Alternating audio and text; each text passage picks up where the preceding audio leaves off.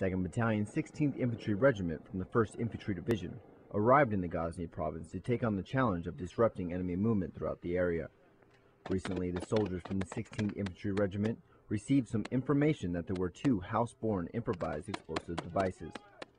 Pushing forward on the enemy's position, they found themselves taking sniper fire from the north while receiving small arms fire from the east. Throughout the day, the team of brave soldiers from the 16th Infantry Regiment continued to make contact with the enemy, and one soldier made the ultimate sacrifice to protect the troops around him. Captain James Neal was hit by enemy sniper fire, resulting in his death, showing true selfless service for his country. Army Sergeant Jacob Connor, Ghazni, Afghanistan.